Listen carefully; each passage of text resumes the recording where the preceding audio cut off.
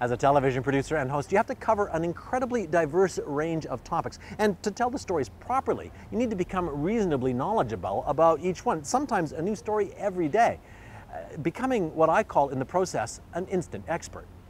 Add to all of that research the fact that I have the kind of brain that interesting facts and tidbits tend to stick to, uh, uh and a certain propensity for being a bit of a know it all. We thought, why not put all of that to good use and answer the questions that have been bothering you, our viewers?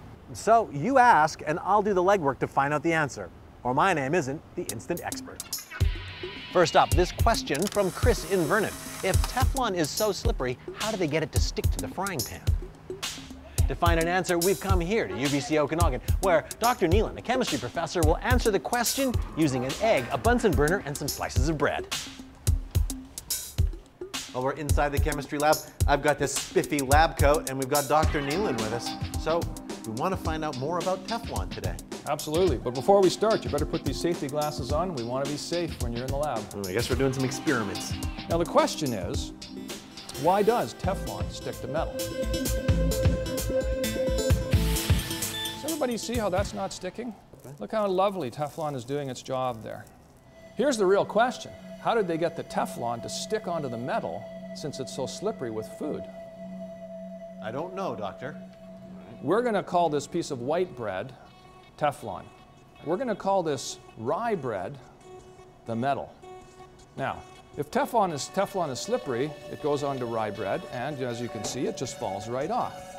To get the Teflon to stick in the early days onto the metal, they would abrade the metal. Now, what this means is they would take a sandblaster and they would physically roughen up the surface like this.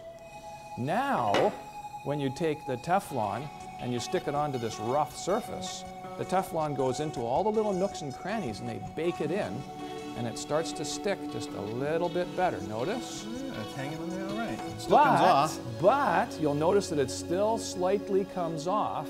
And this led to generations of cooks screaming at people when they would use knives oh, into the Teflon like this, because in the early days you could actually scrape the Teflon right off the frying pan if you used a metal knife or a metal fork. These days, what do people do to stick Teflon onto metal? What they do is they've discovered something called a primer. It's kind of like painting. When you're priming a wall, you put a primer on the wall and then you put your paint on. They do the same thing with the metal of frying pans. Now I'm going to illustrate that with a little bit of peanut butter. the perfect primer. Now, once that primer is on the metal, you can grab the Teflon, put a coat on, a layer, bake it on, the Teflon is now stuck to the metal. The Teflon is the white, the metal is the dark bread. And as you can see, the Teflon sticks to the metal. And that's how it's done. That's great. Thank you, Dr. Neeland. You're very welcome. Question answered.